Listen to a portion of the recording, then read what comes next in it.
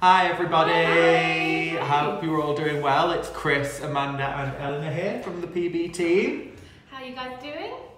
Um, we're just here to give you a roundup of the news for the week. Um, so Chris, do you want to take it away with the no-show story? Yes, so yeah, so um, one of the big stories, particularly over on our Facebook, is a story all about um, UK beauty and hair salons are losing up to 1.2 billion pounds a year um, because of no-shows and missed appointments. Um, so this was by software provider powered by Flossie, and they say that London is the worst hit with uh, just under a third of women saying that they have no-showed an appointment, um, which is pretty staggering figures, really. Yeah, it's a pretty shocking figure, and I think as well, you know, no-shows.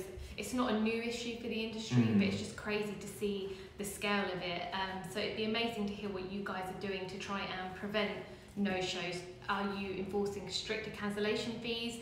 Are you enforcing stricter deposits? Are you taking more than 50% now? Are you taking the full amount to try and cut it down? It'd be great to hear about the policies you're putting in to try and prevent and get this figure down. Yeah, so we've got um, from our Facebook, I just picked out a few uh, little quotes from people. So Zoe Nichols says, never book them back in again unless they pay in full in advance, like Amanda said. Uh, Denise Sprague says, we've had this so often, so rude. Now we ask for payment in advance to confirm booking. And Lisa Young says, it's time for all salons to firm up their cancellation policy and mindset that they are selling their, their time. Um, it's not appointments, it's, it's their time and make it a standard for the entire industry. So, yeah, some really good comments. Do let us know what your thoughts are. You can comment on this video or over on Facebook or on the article. So, be great to hear from you. Yeah, join the Yeah. let us know. We've also done a little bit of a deep dive into International Women's Day, which is coming up on Sunday, the 8th of March, um, and we've been looking at what the beauty industry has been doing. So, one of the incentives that Benefit Cosmetics is doing is offering headshots in their um, London flagship store and also in Glasgow as well. The idea is that people get more views on their LinkedIn if they have a profile picture, but not everyone can have access to that, to a professional photographer um, will have the equipment. So that's a really good incentive that they're offering in the store for free. Um, and then also Nail Transphobia in Brighton, that's headed up by um, Charlie Craggs, who's an award-winning activist and author.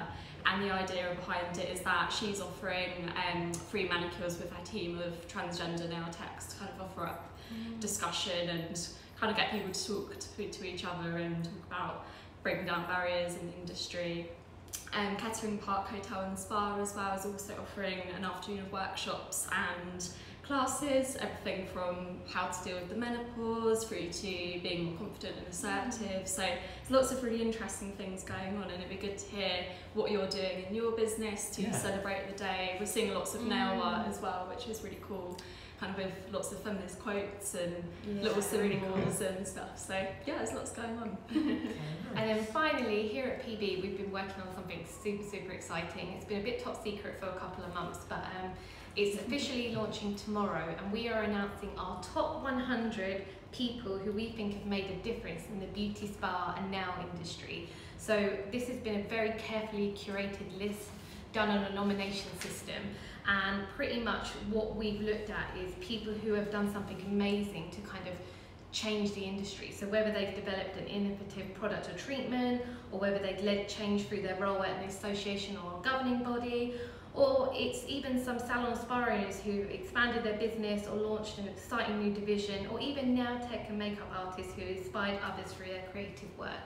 So we're going to be launching that tomorrow at 9am on the website so you can see who they are and then we're going to be profiling them in way more detail in the summer issue of Professional Beauty.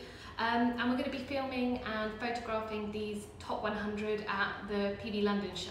So pretty much really exciting. Can't wait for you guys to see the list and tell us what you think. So keep an eye on the website tomorrow. Yeah, really, really exciting. And as we said, PB London, it's coming up. We've got three and a half weeks to go. Uh, Not long. 29th and 30th of March, um, Excel London.